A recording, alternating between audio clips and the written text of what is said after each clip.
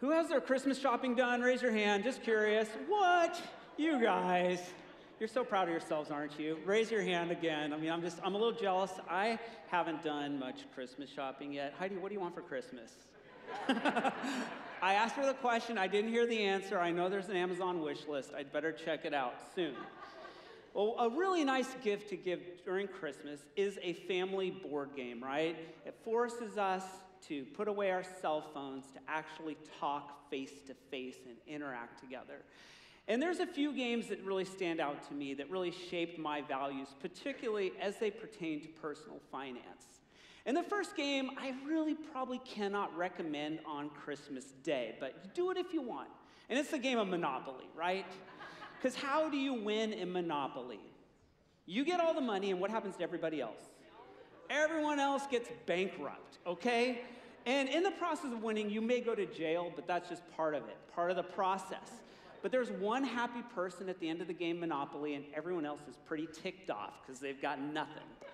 Well, then there's this other game called Payday. This is a little simpler, a little bit faster game, which I remember playing this as a kid. It looks like a monthly calendar, and every week you are taught at this very young age, I think it's made for ages eight and above, you play the lottery every Saturday, and if you don't have enough money, you borrow money on credit at 10% interest. It's setting up our children for student loans and credit card debt. It's a terrible game, terrible game. One of my favorite games, though, is the game of life, and I didn't bring the whole board game up here. And life is a pretty fun game, right? But it all depends on the spin of the wheel. You spin the wheel, you know, you're gonna get married, that happens in the game, but you spin the wheel, and you miss all the kids have a child spaces, you end up with a minivan with four empty seats, right? Not what you hope for. You spin the wheel again, pay $25,000 for tennis camp. Does tennis camp really cost $25,000? Spin the wheel, tornado hits your house, right? Unless you have insurance, you are out of a ton of money. Spin the wheel, get flooded, spin the wheel, pay $100,000 for cosmetic surgery. Did you know this is actually a space? And so, based on this game, you either end up, you were hoping to end up at Millionaire Estates, but instead you end up at the countryside acres, right? Without enough money. No matter how much strategy you had, good planning, this can just happen and it kind of reflects real life. We think we're going to go up all the ladders and we end up going down all those chutes. Cars break down, medical diagnosis occur, your crypto investments tank, a deal falls through, someone laughs about that. It's not funny. No, it didn't happen to me. But it happened to a lot of people. It did happen to a lot of people, and no shame, no shame. And then you have those, all those damaged relationships that really come to the surface during the holidays. And it, it is no laughing matter. Those unlucky spins really frustrate us. But I want to talk to you about God's provision, especially in those times when we are frustrated, when it doesn't seem like things are working out. What is God doing? How is He working? And in the place where we are truly feeling less hopeful than we want to feel, God wants to surprise us. He wants to meet us in those places. And at Christmas, we always talk about the birth of Jesus. We celebrate the arrival of the Messiah. But there's a part of the Advent story that is often overlooked, that is a significant part of the story. The Jews believed during the time of Jesus, and they even believe this day, that there would be a forerunner of the Messiah who would come. And he would come, he would be Elijah, actually, either like Elijah or it would be Elijah himself who would precede the coming of the Messiah. And so, interwoven into the Christmas story is the birth of this particular individual.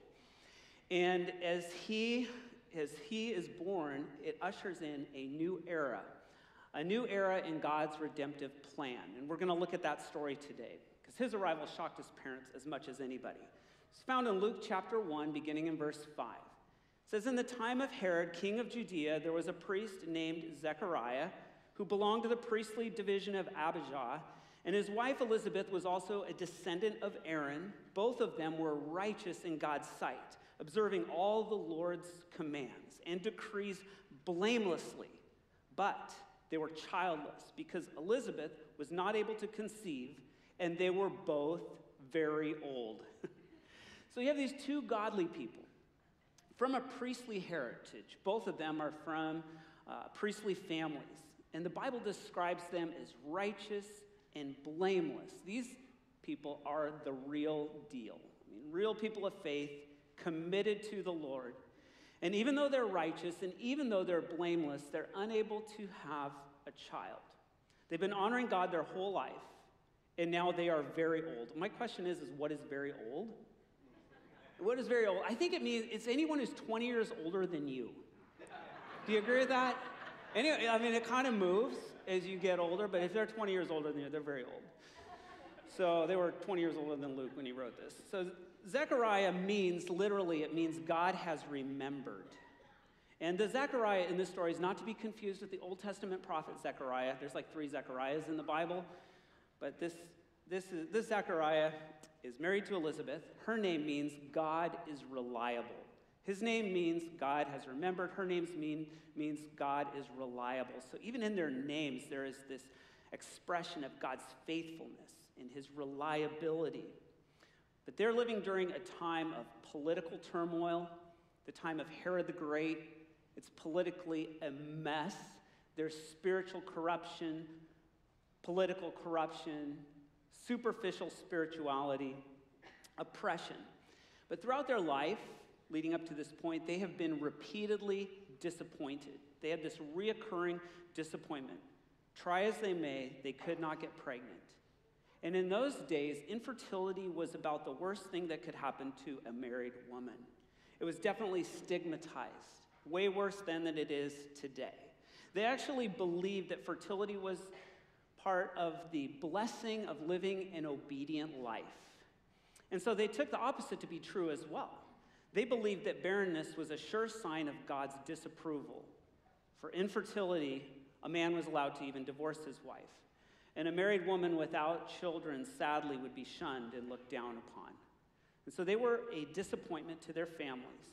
In fact, later in his life, Zechariah looked back on this time and he said it was a time of disgrace. That's how he felt during this time. And I wonder how much their righteousness was because they were trying to earn God's approval. Like maybe if we just try harder, maybe if we're just more careful to keep all the commands, maybe if we just pray more, then we will receive God's blessing. But their flame of hope had long ago dimmed, flickered, and gone out. And the point I want to make at this point in the story is that even righteous people lose hope. They had truly done nothing wrong. They weren't guilty of sin. God was proud of them, was honoring them. You know, He heard their prayers. And so I just want to encourage you that if you can relate to that, and you know, you're a faithful person, you're here because of that, but lately God just seems distant, increasingly distant, silent. If you're starting to think of God as being indifferent, I really want to challenge that thinking today. Don't rely on your feelings. I cannot remedy your situation, but I can tell you this for sure God is faithful. God hears your prayers. God is present. God cares. And so our feelings don't tell us the truth, they only reveal our perception of reality.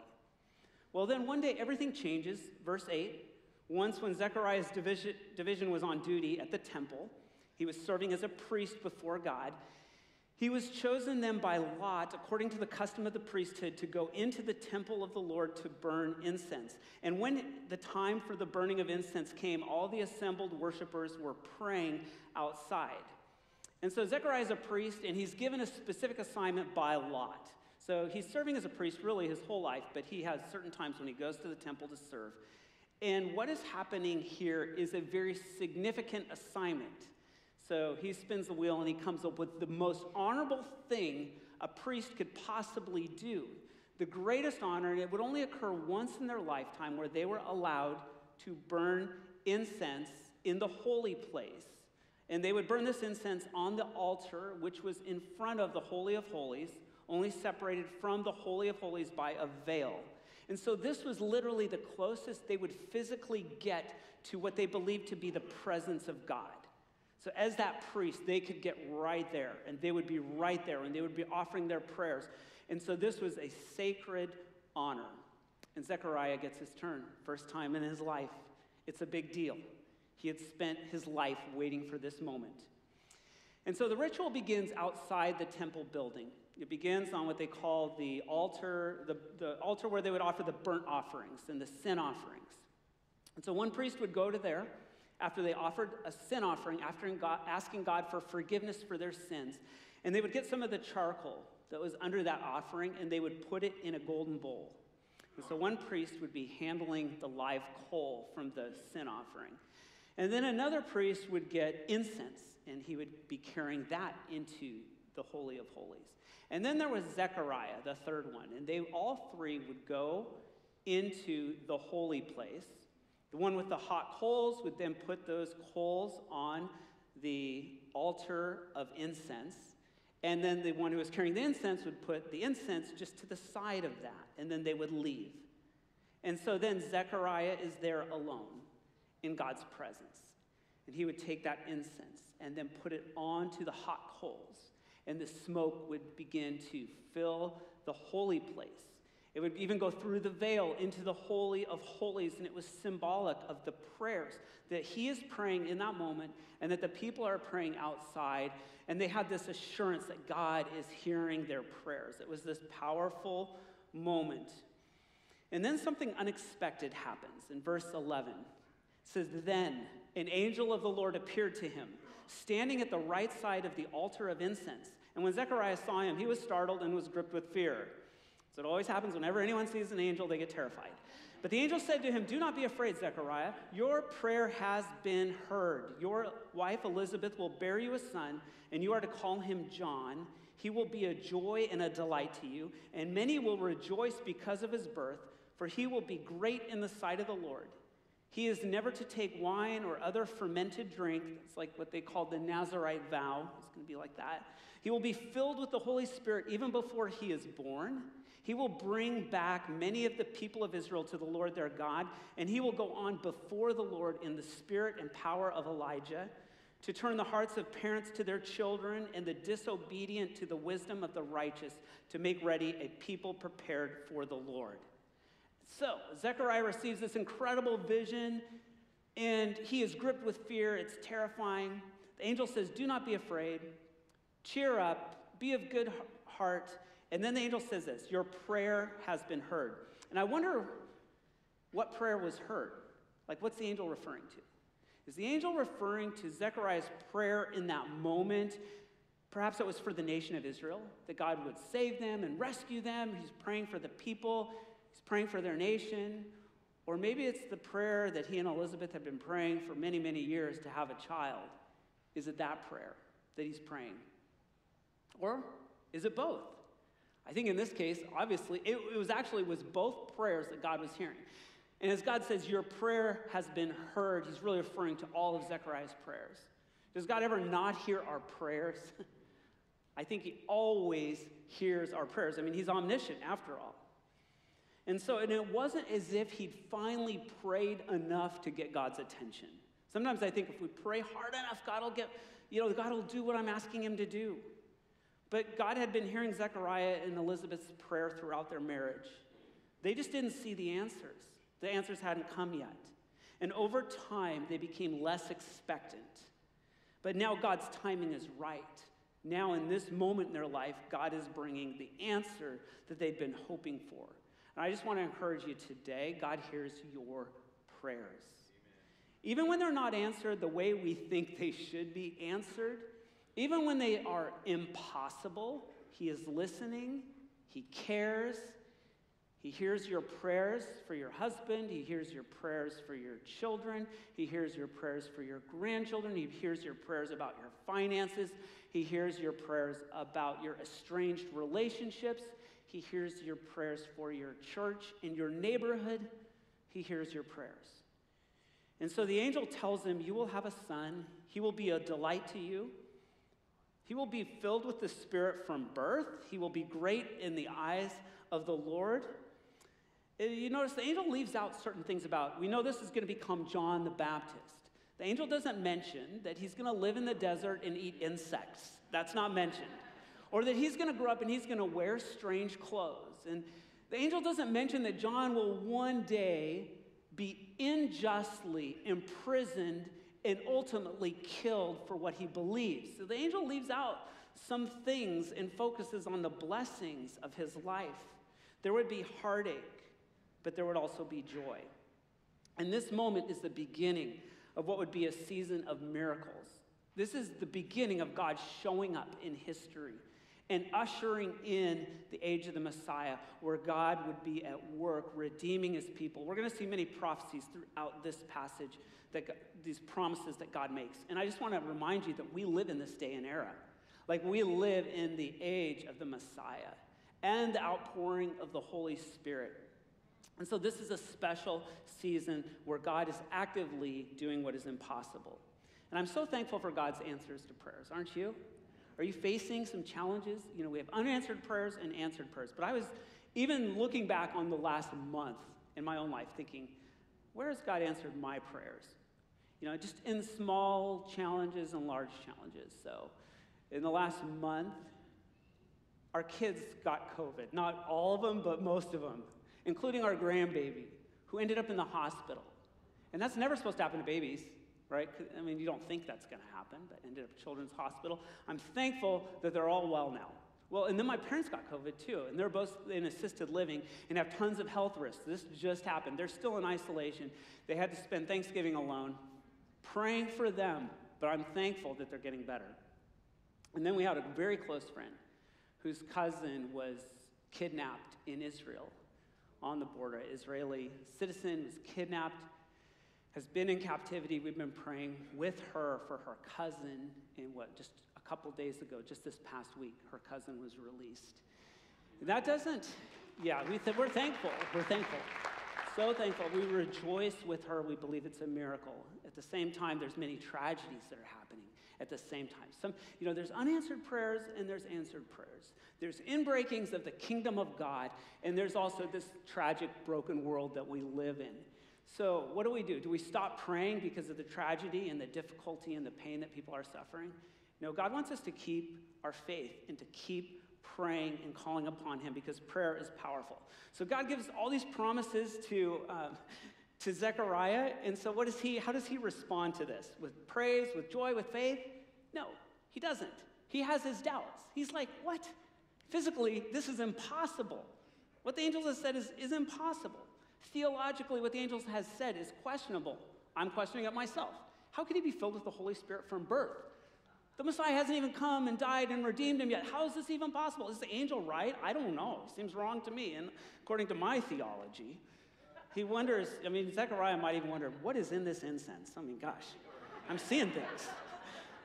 So how is this possible? You know, but if you try correcting God, just try correcting God. Try correcting God's theology. See how far you can get with it. You won't get very far. So Zechariah asked the angel, How can I be sure of this? I'm an old man, and my wife is well along in years. I'm glad he didn't say she was an old woman. That's a very nice way of saying it. And so he responds, though, in this moment with unbelief. It's like, I'm not sure you're right about this, Gabriel. Can I get this in writing in case you didn't notice? Not too many people our age are having children, starting families.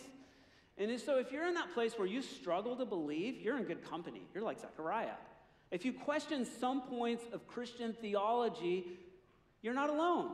Join the club. If you wish you could be sure, if you wish you had more proof, you're not alone.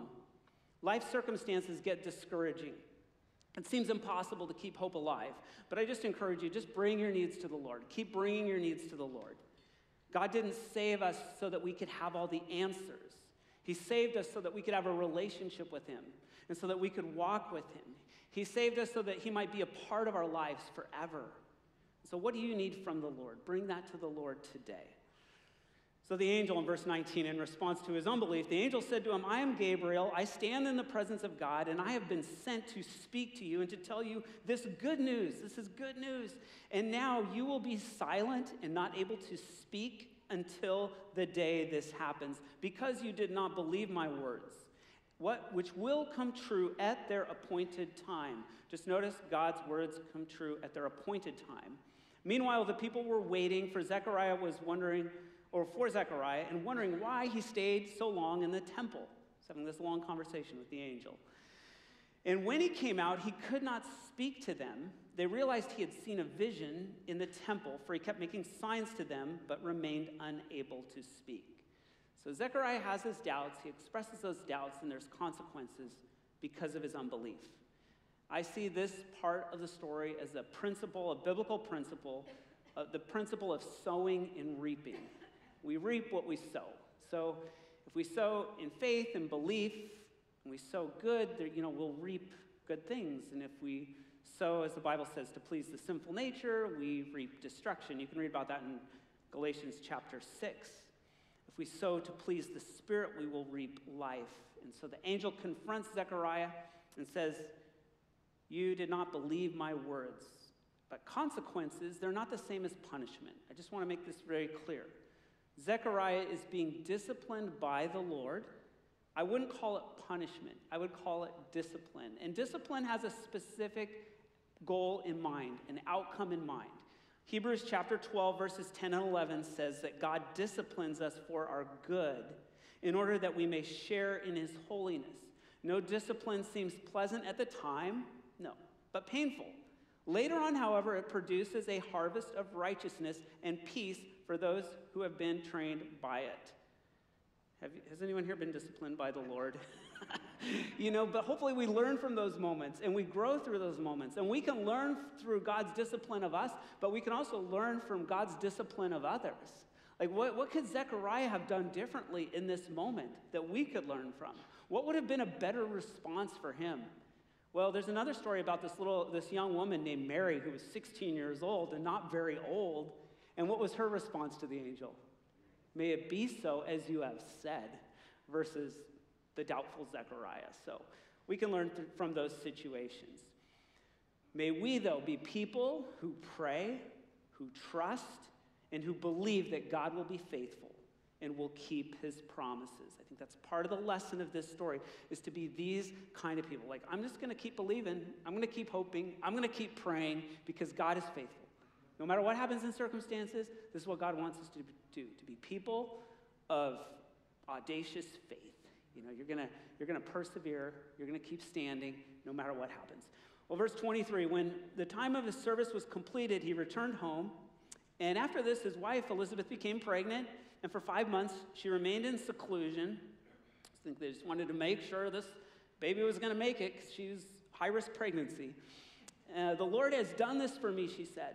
In these days, he has shown his favor and has taken away my disgrace among the people. Notice that point of disgrace. That's how they felt until this moment. God does a miracle.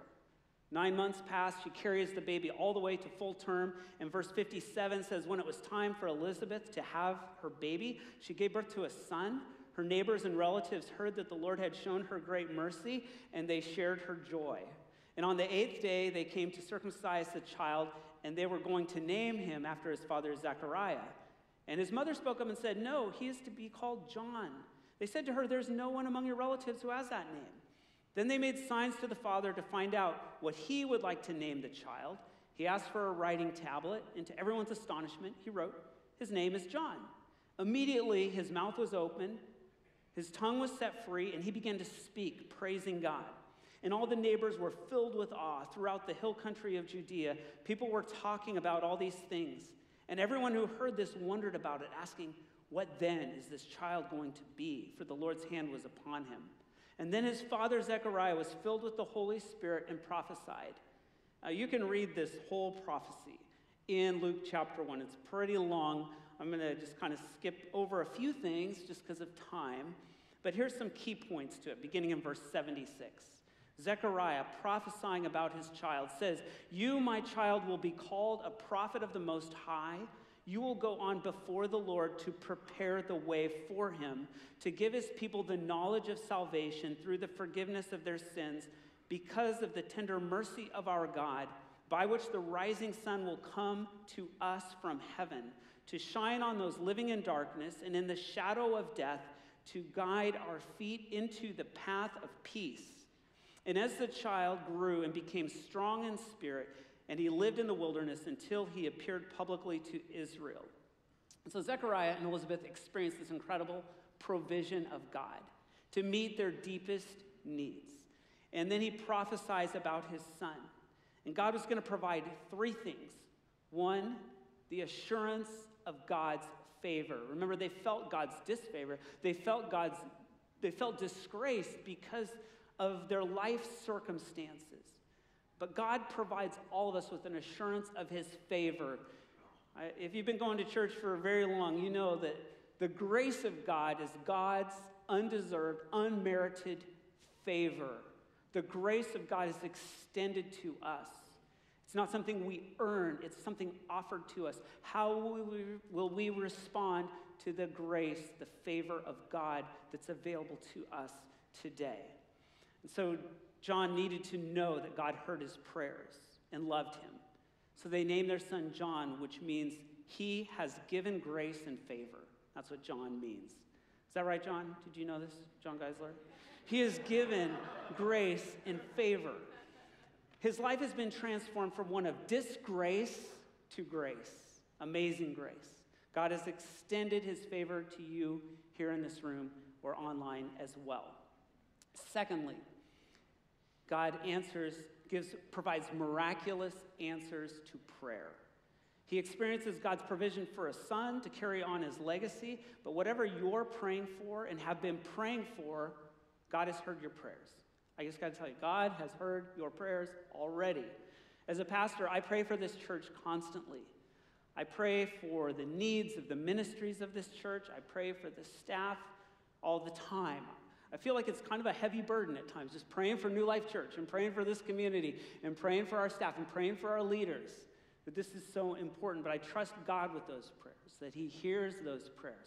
And even as we had our missions month last month and just praying for God's provision, I just want to share with you that you know, last weekend, just last weekend, we had $93,000 given to our missions offering. So I just praise God for that.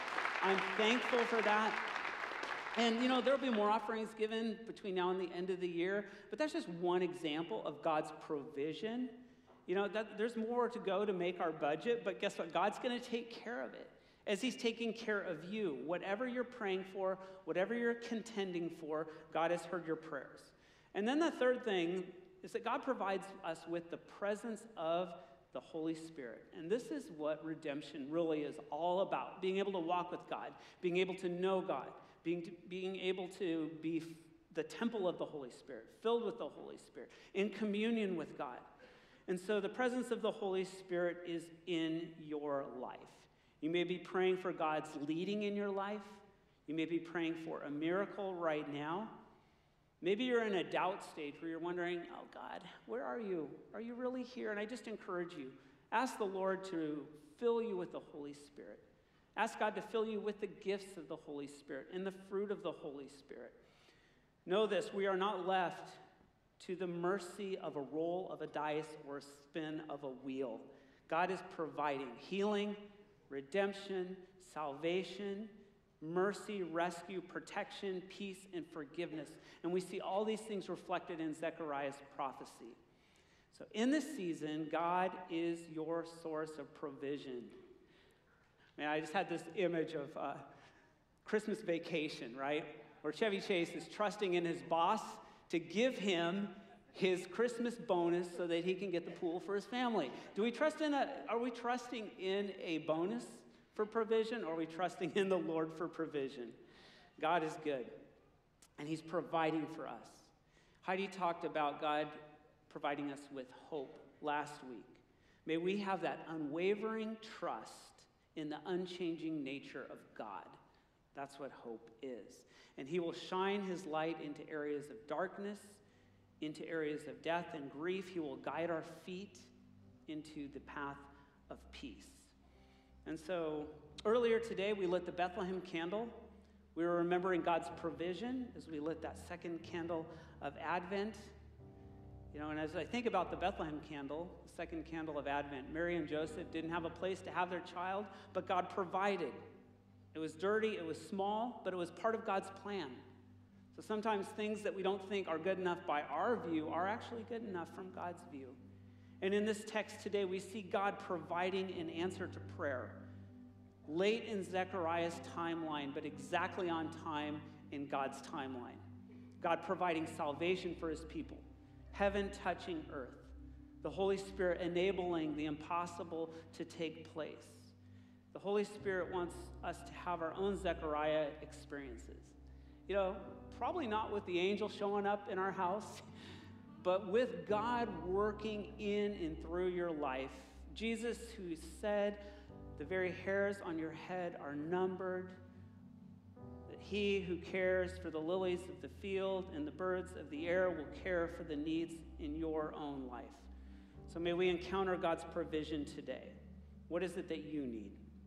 Let's pray and respond to the Lord. And Heidi, why don't you come on up here too on the stage? Lord God, we thank you that you are faithful, as we sang earlier, that you are the provider. Lord, you invite us to live lives of faith and confidence in you. Lord, that you hear our prayers, that you remove our disgrace, that you are present in our lives through the Holy Spirit. With heads bowed and eyes closed, I just invite you to bring to the Lord whatever you need right now. Anything that's weighing on you that you need God's provision for, offer that to Him. Pray about that one more time. Give it over to the Lord. We pray these things in Jesus' name. Amen. Amen. Well, when you came in, you were handed a communion cup. If you didn't get one, they are available at the exits in this room. Um, and so you can go grab one right now.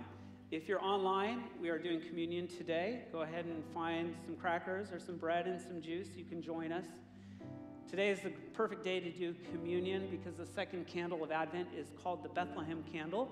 In some traditions, Bethlehem means house of bread. And Jesus said, I am the bread of life. He who comes to me will never go hungry. He who believes in me will never go thirsty. And so go ahead and take the bread out and let's respond to Jesus today. Jesus, you are the bread of life.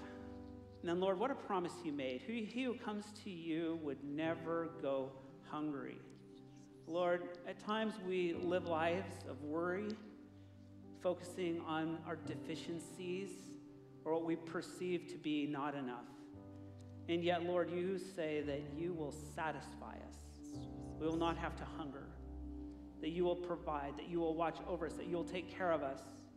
Lord, as we hold this bread, we are reminded that you sacrificed yourself that we might be whole, that you were broken that we might be whole and healed. We are reminded today that you provide.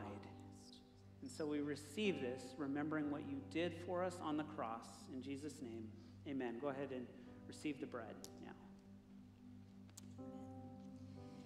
Amen. And as we hold this cup, it reminds us that not only is He the bread of life, but He also, wherever we are thirsty, He fills us. The cup. What, cu- what is in your cup that you need right now? Like, what emptiness do you feel, or what is there that you recognize you thirst for right now? And what is it that He wants to fill?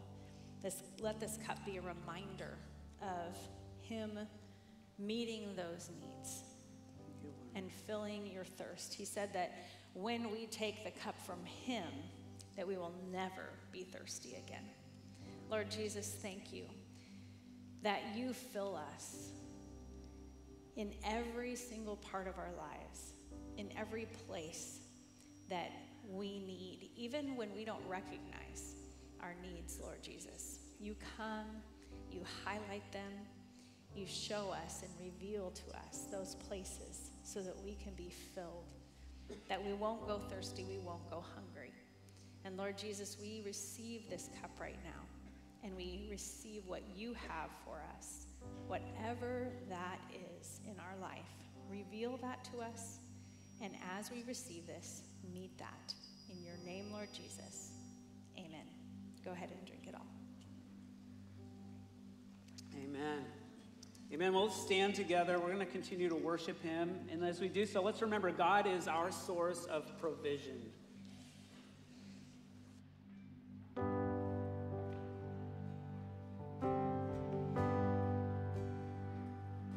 Yeah, would you just stand with us?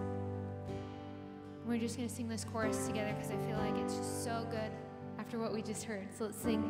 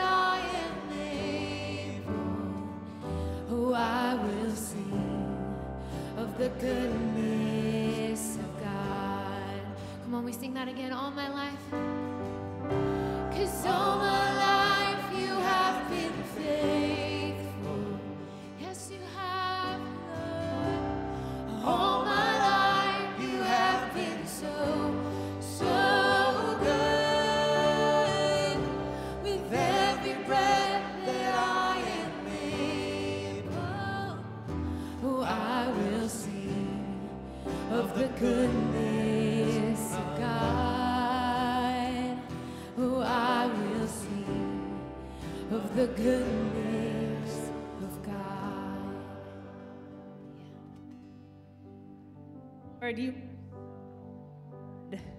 Lord Jesus, we thank you that we can receive your provision. And lo- Lord, with your provision, that you offer us life. You offer us joy. You offer us peace. Everything that we think about this Christmas, everything we hear in those Christmas carols and in the songs we hear in the stores, Lord Jesus, all those things people are longing for, you provide. Lord, we thank you for your provision. May we live in that provision every day. In your name, Lord Jesus, amen.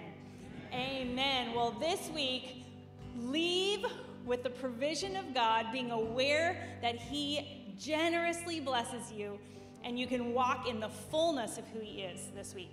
All right? Enjoy this week of first week of Christmas, right? December. All right. Have a great week.